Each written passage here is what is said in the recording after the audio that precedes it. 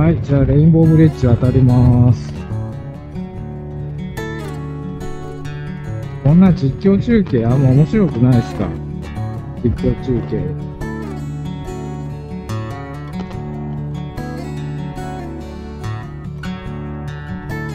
左側すごい高層ビル群ですね。アルミの方。で、右側はちょっと見えにくいかもしれないですけど、フジテレビとかお台場ですね。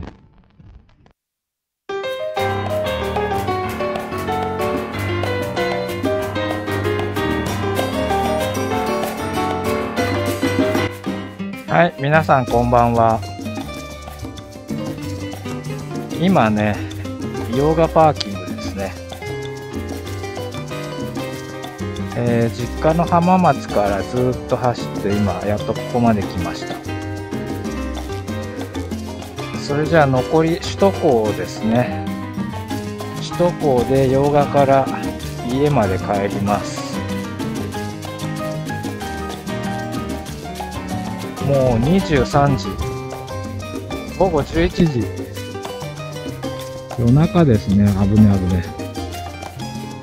今日はですね、ちょっとあの、録画で新しいことやってまして、まずね、このインスタ 360X3 で夜の撮影ですね。夜の撮影をしております。多分初めてじゃないかな、夜撮るのね。しかもしかも、音声はですね、えー、なんだっけこれ、ロードのワイヤレス2っていうワイヤレスマイクを使ってます。初めてワイヤレスマイク使うんですけど、果たしてちゃんと入ってるかどうか、ね、気になるところですね。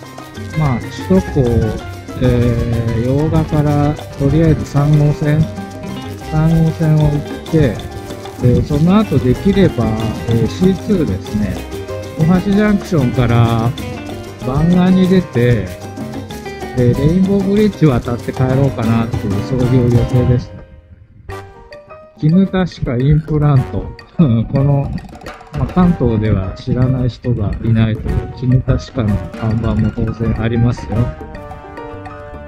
そういうのをちゃんと取れてるかな？いや、でも一番気になるのは音声なんですよ。音声が、原因調整とかもこれ、あるのかないのか、多分自動だと思うんですけど、うん、どれぐらいの喋りでどんな音が入るのかさっぱりわかんないです。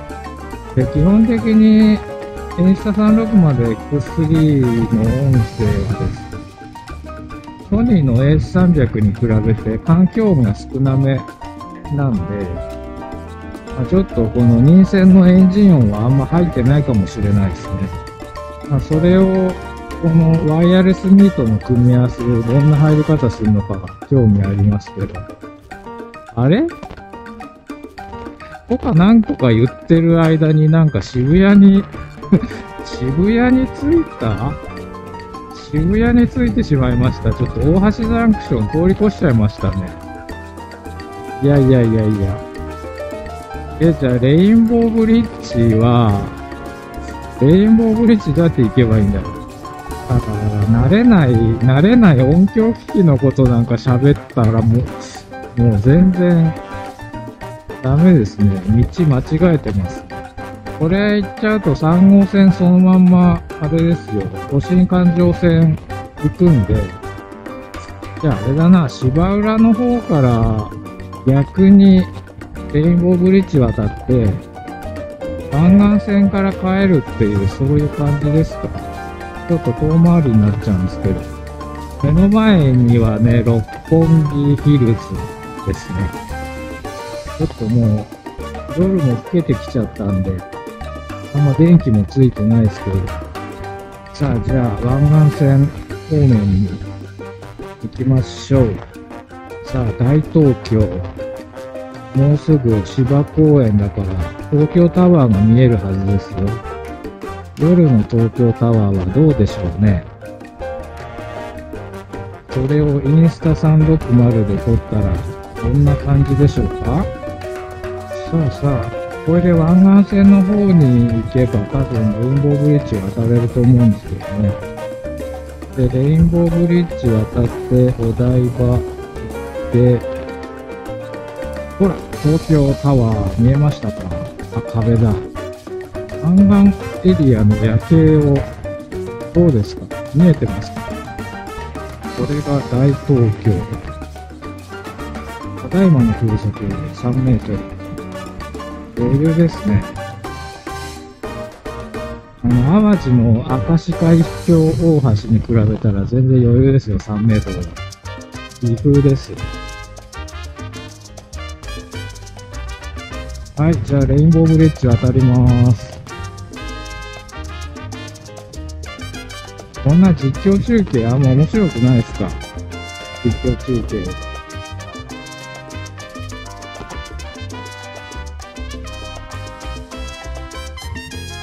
左側すごい高層ビル群ですね。海の方。で、右側はちょっと見えにくいかもしれないですけど、フジテレビとかお台場ですね。その奥があれ、港かな？東京港かな？そんな感じ。おお、ハーレーの、ハーレー軍団来ました。軍団つっても2、2台だけか。お、もう1台、3台目来ました。なんて言ってる間にレンボーブリッジ渡っちゃいましたよ。まあ、こんなとこですかね。あとはもう湾岸線通ってピヤーと帰るだけなんで。でもこれ、ちょっと、止まるとこないんだよな、ずっと、こっから先。でも路肩で止まってゴソゴソやったらね、後ろから追突されちゃうかもしれないからね、このまま行きますけど、浦安から川口方面に行きます。じゃあ、こっから先はね、もう湾岸線走るだけなんで、この辺でちょっと締めときますね。えー、ちょっとこれ、ね、アップするような映像になるかどうかわかんないですけど、まあ、初めての試みで、インスタ 360X3 を夜撮影して、しかもワイヤレスマイクを初めて使ったという回でした。それではまた。ほんじゃねー。おやすみなさい。